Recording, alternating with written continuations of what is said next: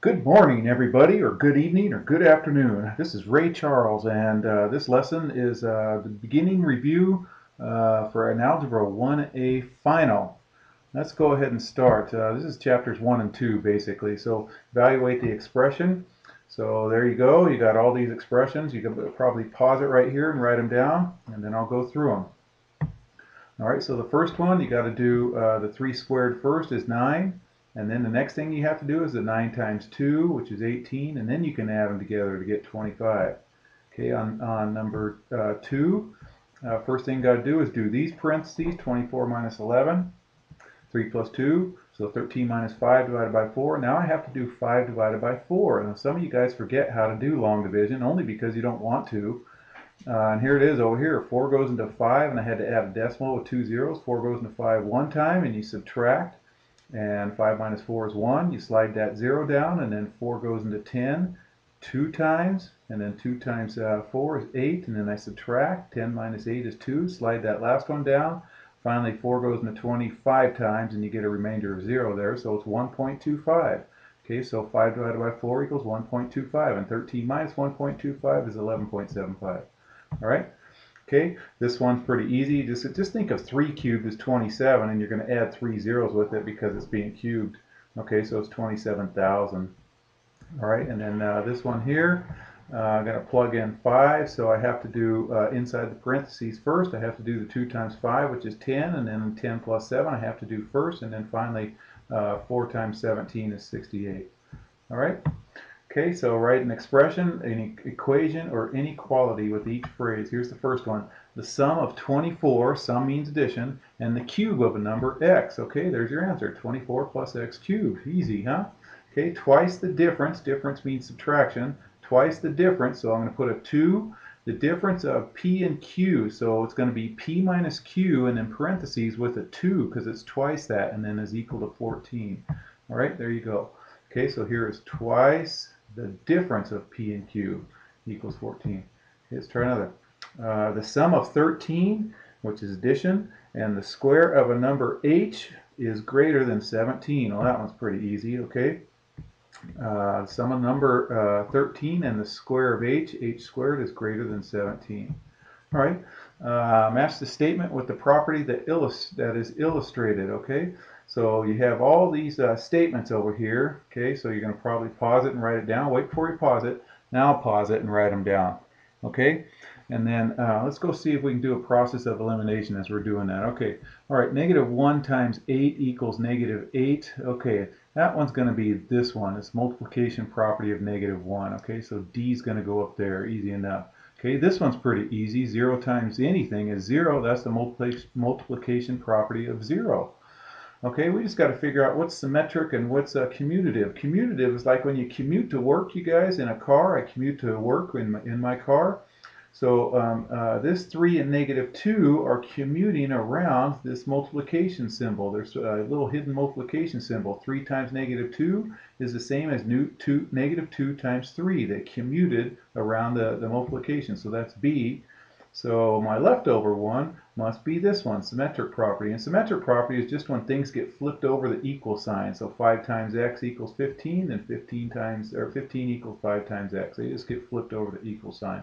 There's transitive property, there's reflexive property, uh, what else is there? There's di uh, distributive property, so those are all there too. That they're not. Uh, I'm not going to show you on those. Okay, order the numbers from least to greatest. Okay, all these ones. Okay, what I did is first change these to a decimal. 3 goes into 5 once, and then you get 2 left over, add some decimals. So this becomes um, negative 1.66666. It keeps repeating, you guys. All right, and then this one here, the square root of 16 is 4. So the square root of 15 is a little bit less than that. So I'm saying about 3.9, but it's negative 3.9. I don't need to worry about that or that or that. Square root of 25 is 5. So here they are as decimals, all as decimals. Okay, and then I made a number line. Number lines help me put them in order.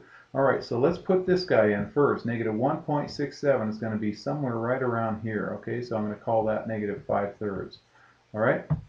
Okay, there it is right there. And then negative 3.9 is going to be my square root of 15. Here it is over here, negative 3.9 over there. Okay, And then uh, negative 3, that's easy enough. That goes right there. And then positive 2 is going to go over here. All right, so negative 3, positive 2. Okay, negative 1.7, you guys, is a little bit farther to the left of negative 1.67. It's going to be like right there. Okay, so I'm going to do a little red arrow there. All right, so, and then there's the square root of 25 way over there because that equals 5. Okay, now, now they're in order. Once you put them on a number line, they're in order from least. This is the least. This is the second least. This is the third. This is the fourth. So here they are in order, just like the number line right there. Okay, all right, find the sum, difference, product, or quotient. Okay, you got all these, so pause it so you can take care of these. Okay, so the first one, uh, you have to basically subtract those, and it's negative because this is the, the bigger absolute value of them, so it's uh, negative 9.1. Okay, here you got to get a common denominator, which is 14, so I'm going to multiply this one by 2 over 2, so I can go ahead and take care of that. Okay, so here's my 2 over 2 right here. All right, and then so uh, subtraction is the same as adding the opposite. So that's what this is, adding the opposite of, of uh, 5 14ths, okay? So 2 over 2 times uh, 2 over 7 gives me 4 over 7, so it's negative 4, 4, I'm sorry, 4 over 14. Negative 4 over 14 plus negative 5 over 14 is negative 9 over 14. Okay, this next one over here, the 5's cancel, and 3 negatives makes a negative, so it's negative 20. Okay, this one I'm going to flip it and multiply, you guys. So here we go. I'm going to flip it and multiply. Okay, and then the 5 goes into the 10 two times. So I'm left with negative, uh, or 1 times negative 11 is negative 11, and then 1 times 2 is 2, so negative 11 over 2. Okay, minus a minus, this is going to become a plus, you guys. So uh, it's going to become out to be uh, positive 18.6. Okay, common denominators here are 6, so I'm going to multiply this one by 2 over 2. All right, so here we go, 2 over 2, um, and then uh, I get uh, negative 1 6 plus 2 6 is a positive 1 6. Okay, so simplify the expression. All right, so pause it. Okay, and then so this one I distributed the 9 through and I get negative 9x. Remember, a negative times a negative is a positive. Okay, I'm going to distribute here 8x minus 32 here and then combine like terms, you guys. 8x minus 10x is negative 10 or 2x minus 32. Okay, here I'm going to divide 7. 7 goes into all of these. 7 goes into the negative 7, negative 1 times. 7 goes into negative 21. There should be a negative right there, negative 3. I got it right here. I just didn't write it up there, darn it. So negative w minus 3 is the answer. Okay, over here, negative 4 goes into negative 16, positive 4 times, and negative 4 goes into 8, negative 2 times. Okay, so the answer is 4x minus 2. All right, so solve the equation. Here we go. Okay, pause it. And then let's go, here we go. So on the first one, I'm going to subtract 5. Negative 18 minus 5 is 23. On the second one, I'm going to add 17 to both sides. And then so 28 plus 17 is 45. And 15 goes into 45 three times. Okay, on this one, I'm going to go plus 6 plus 6 first. And then multiply by 10. Okay, so when I added 6 to both sides, I get m over 10 equals 26 because 20 plus 6. And then to get rid of that denominator, I multiplied both sides by 10. So you get 260. Okay, this one I can't do in one. I, it gets a little too confusing. So what I did first, you guys, is, is um, I subtracted 39 on both sides first. And then at the same time, I got rid of this 4h. I, want, I don't want any letters on the right. I want all the letters on the left and all the numbers on the right.